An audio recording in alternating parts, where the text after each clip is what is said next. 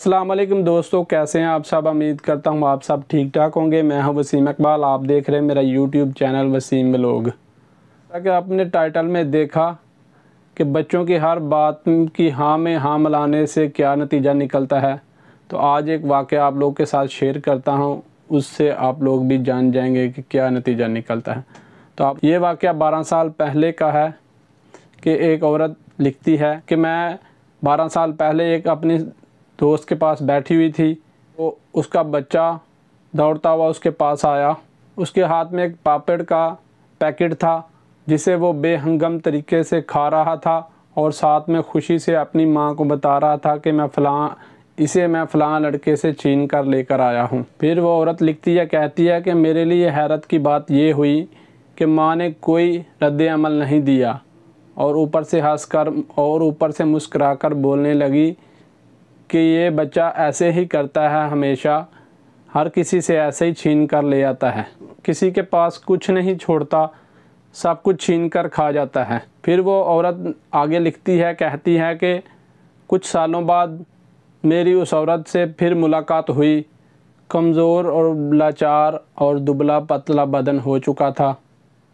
कह रही थी कि बेटे के गम ने रोल कर रख दिया है। कहती है कि कभी चोरियाँ करता है कभी डाके डालता है और पुलिस के चक्रों ने मुझे परेशान करके रख दिया है। मेरा जीना हराम कर दिया है।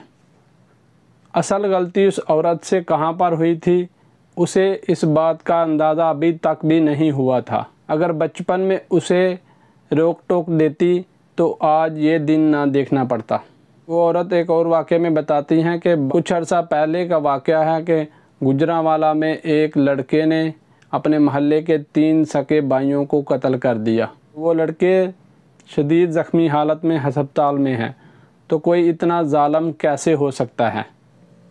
और उस औरत की चची बताने लगी कि इस वाक़े के पेश नज़र उस माँ की तरबियत का नतीजा है। इस बच्चे ने आज ये तीन कत्ल कर दिए हैं। ये उस बच्चे की गलती नहीं, ये उस बच्चे की माँ की तरबियत का नतीजा है। क्योंकि उस बच्चे की माँ उससे कहा करती थी कि कभी, कि बेटा कभी किसी से मार खा कर ना आना। और जब कभी वो बेटा गलती से मार खाकर घर लौट आता तो माँ खुद उसके साथ जाकर महल्ले के उन लड़कों को मार कर आती, जिन्होंने उसके बेटों को मारा था। बच्चों की परवरिश ही ऐसे माहौल में हुई कि हर झगड़े में उनकी माँ का पूरा ताउन उनके साथ होता। कोई माँ अपने बच्चों को ऐसी आग में झोंक सकती है? हैरत से हैरत थी कि कि माँ को मज़बूत और हसास दिल से नवाजने वाले रब ने उसे इंसानी नमूना बनाने के लिए मुकम्मल अख्तियार दिए हैं, जहाँ वो अपने बच्चों को सख्त तरीन हालात से मुकाबला करने के लिए भी तैयार कर सकती है। तो दूसरी तरफ़ वो माँ अपने बच्चों को हाथ का छाला बनाकर ज़िंदगी की तलखियों के सबुर्द भी कर सकती है। माँ की तरबियत ही बच्चों में ईदी जैसी रूह डाल सकती है। और ईदी साहब की माँ ईदी साहब को दो आने दिया करती थी और और ये नसीहत किया करती थी कि एक आना खुद खाना और दूसरा किसी और पर खर्च करना।